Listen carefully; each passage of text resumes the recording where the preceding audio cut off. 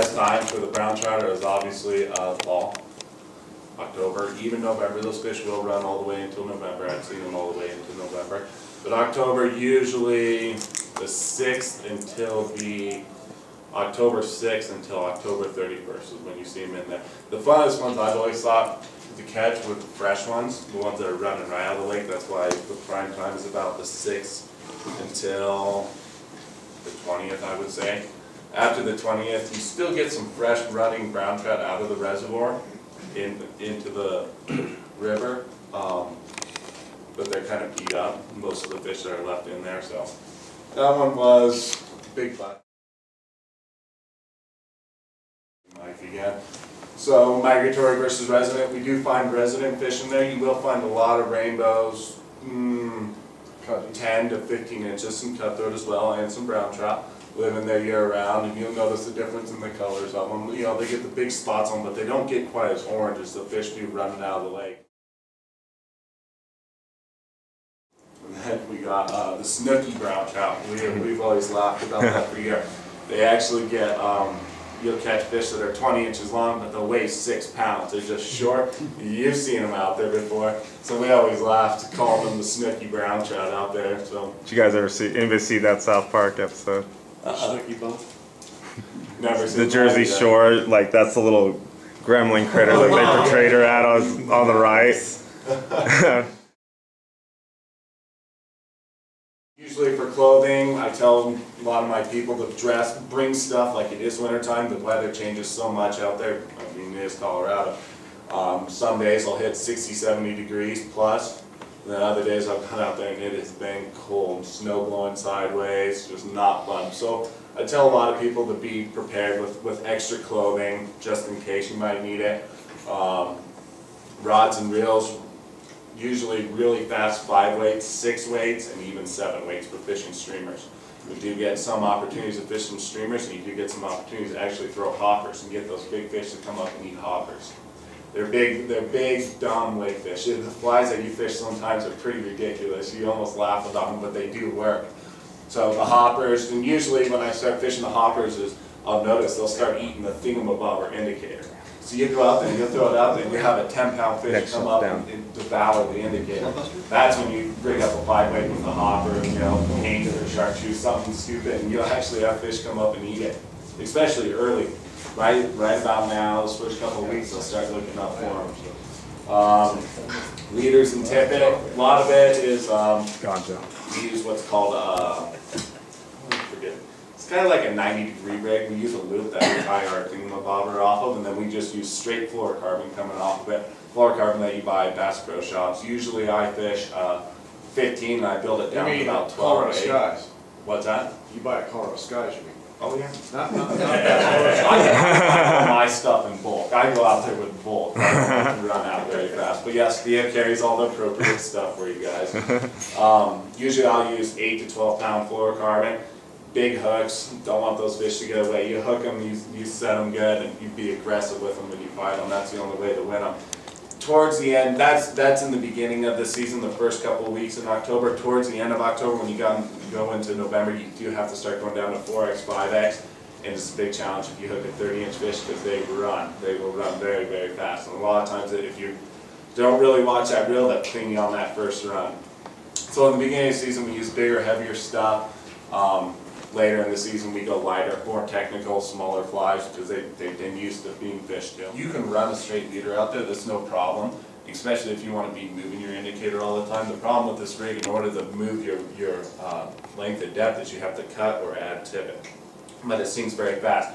So when you get a tapered leader, like, so if you put your indicator way up your high, this part's gonna sink fast because it has, doesn't have very much, uh, uh, thickness to it. And the thicker that you get up here, the slower that thing so sinks. So the reason why we designed this rig is to sink real fast, to get down deep in those holes and keep your flies down in those holes. And so what it is, is I run just a piece of straight twenty pound off my fly line, do a, do a knot straight to the uh, thingamabobber, so the thingamabobber can actually move around in the loop. Like a uni Yes. Okay. And then straight off of the loop, I tie just a straight piece of twelve pound, and then I build my leader off of that. So I go twelve pound, down to ten, and then down to my eight, then I'm actually fishing If I'm going bigger, then I'll use bigger to build it. But the thinner that it is, the faster that it sinks. It's a, it's a trick that we use on the Fryingpan a lot. Rather than fishing a tapered leader, we actually knot a piece of yarn to the leader and we run straight five X off of it. So we'll tie a piece of yarn just like that to our leader, do a clinch knot of five X straight off of it, and then we actually run a nymph rig and it sinks right away. So it's short, it's fast sinking, so you don't have to use a lot of weight. You want to do it real quick? I take my finger bobber, usually I drop that as tag thing, I don't use that too often.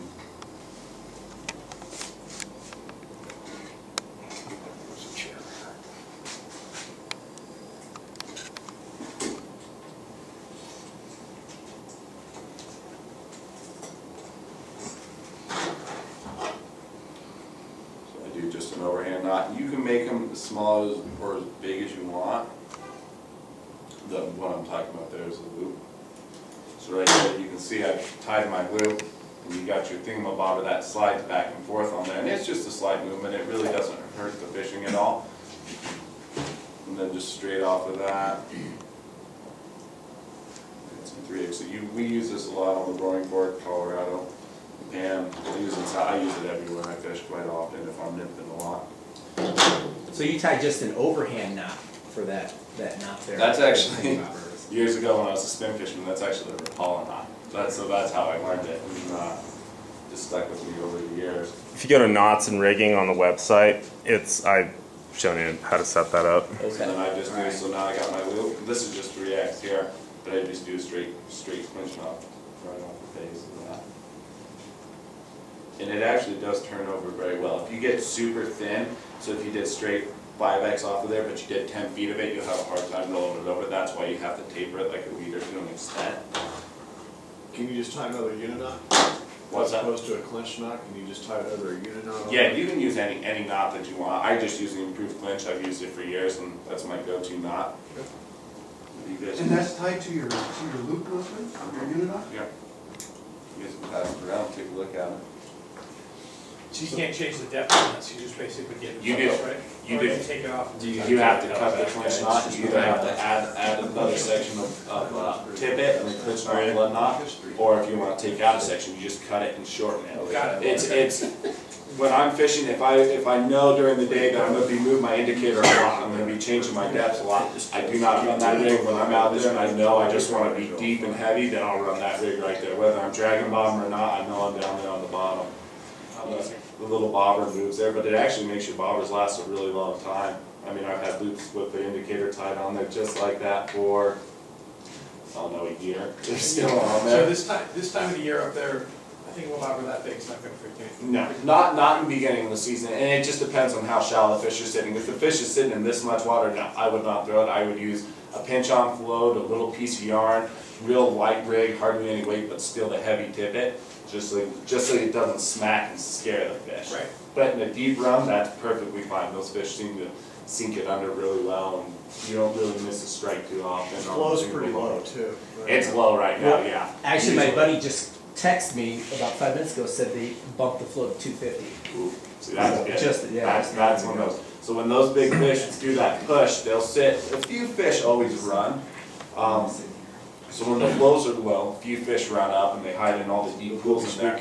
Usually when you, when you hear that big flush like that, that's when all those big fish that are sitting at the mouth of the reservoir, that's when all of a sudden they run. So the next couple days, you'll probably hear some good fish. If they just bumped it up, you'll probably hear some big fish being caught out of there. We'll be there tomorrow. That's-